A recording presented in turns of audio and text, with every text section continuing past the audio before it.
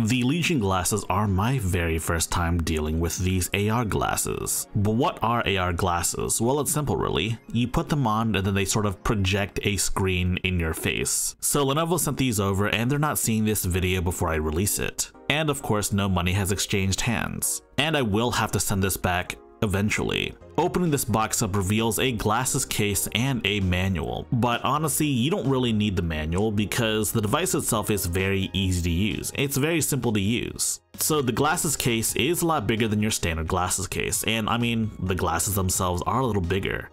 But anyways, it's a nice protective case, hard shell on the outside, foam on the inside. You know the deal. And the glasses themselves. Oh, the glasses themselves. You know, I've never used one of these before. I've never used an AR glasses before, and it's a lot thicker than I was expecting, I'm not gonna lie. But, I mean, it comes with the territory. There's actually technology in here, and it's not just glasses. Also attached is this USB Type-C cable that's permanently attached as well. I do think that's an unfortunate choice because if the cable ever breaks, then you're basically screwed. The other major glasses companies like Xreal or Viture make sure that their cables are detachable in case you ever have to replace them. So if Lenovo ever makes Legion glasses too, then that should be the first thing they improve on. So the plastic featured in these glasses feel a lot more like soft plastic than say your average plastic on like your sunglasses. But do these glasses fit? Well, I think they fit most people. I can't imagine your head being too big or too small for these glasses. Your average regular sized adult could put these on. And yes, using it is pretty simple. All you have to do is put the glasses on and plug the USB Type-C cable into whatever device you want. So while these glasses are typically advertised with the Legion Go, you can actually use them on just about any device that has DisplayPort out via USB-C. You know, kind of like your Legion Go, but also your Steam Deck, your ROG Ally, heck, even Android. A note on Android though, for whatever reason, it doesn't like working with my Motorola Razr Plus, which is odd because Motorola is also owned by Lenovo. You know, you would think that these would work together, but for whatever reason it doesn't. I don't know why. My Motorola Razr Plus only sees it as a device to be charged and ultimately just doesn't see it as a display. Like Lenovo's manual specifically mentions this working with Motorola phones, but also third-party phones like Samsung phones. Yeah, it doesn't work on mine for whatever reason, but I'll have to get another one of these devices from another brand to see if it works with my phone. But before that, if you like this video or any other video I make, please like, subscribe, and share with all of your friends. Spreading the good gospel of high-tech lowlife really lets the YouTube algorithm know that I'm doing well. So now it's time to talk about actually using the device on devices that I have that work with it. First and foremost, the Legion Go, because these are supposed to go with the Legion Go, right? Well, you plug it in and it just works. You plug it in, you put your eyes in your glasses, and then you can just play games. So the glasses boast a micro OLED display, which looks great, but it's also limited to 60 Hz. Which isn't necessarily a bad thing because most devices are limited to 60 Hz, but we do live in an era where most of our PC handhelds can go higher than 60 Hz now. Heck, even the Steam Deck OLED goes up to 90 Hz but the Legion Go itself goes up to 144Hz. There's also the resolution though. The resolution is 1080p, whereas the Legion Go can go up to 1440p.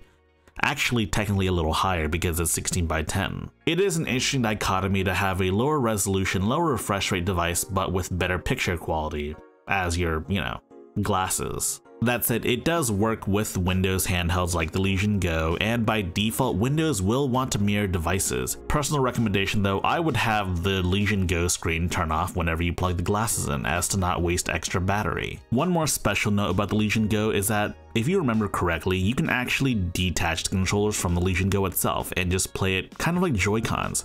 You can lay down Joy-Cons in your hand and the Legion Go somewhere else, and then just relax and play. It's honestly one of the more unique ways to play video games. I've seen some people do this in YouTube videos and I thought it was kind of ridiculous, but actually doing it myself, it's actually super cool. It almost makes me believe that this is the future. And of course, with the Steam Deck, when you plug it into the Steam Deck, the Steam Deck screen goes black and you can play games on your glasses. And now it's time to talk about the actual picture quality when you use it actually recording this product in action is quite difficult, and I had a difficult time getting a good angle on this. So yes, a lot of the b-roll is going to be visualization, and honestly it kind of looks something like this.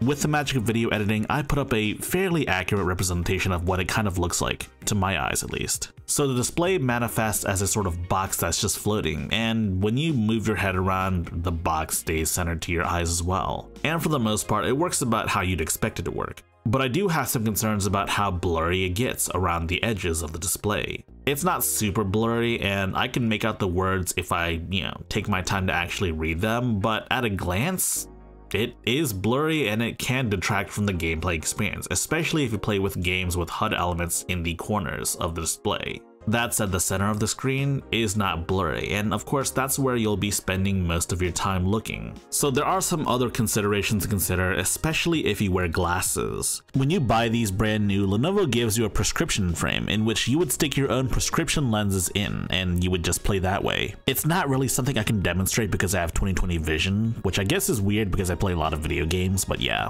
Now as for physical comfort, I mean, some people say they have migraines with these sorts of devices, I don't, but that really depends. The only sort of discomfort I have is that sometimes my temple gets sore after wearing these for a while. This greatly depends on how big your head is, how big your skull is, and I guess your brain as well. And some will ask whether or not you can use this outside, and the answer is yes, you can use it outside, and yes, it is usable outside if you increase the brightness. But of course, the actual shades portion is transparent, so you'll see stuff behind your game. I do know that some of the other competitors have a total blackout mode, and I wish Lenovo had a feature like that here too. All in all, it's a very exciting category of products. I've never used these sorts of glasses before, and now that I have, I want more. So now this is the part where we talk about price. At MSRP, the glasses are $330, but as of the making of this video, they're currently on sale for $299.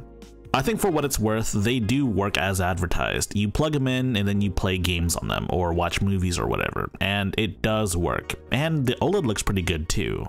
But one of the big OLED advantages, you know, the insane contrast ratio, the true blacks, you're not going to see true blacks because these are partially see-through. Now, if you like covered the sunglasses portion with like a black piece of paper, you'll see true black, but an option for total blackout would have been preferable.